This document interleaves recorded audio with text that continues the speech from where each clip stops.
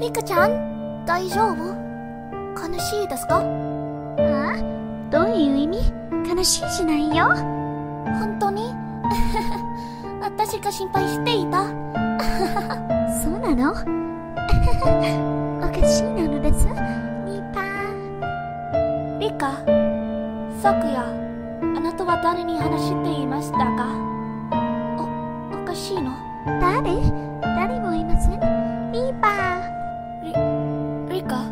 はい。私が。心配ですか？心配じゃないよ。大丈夫。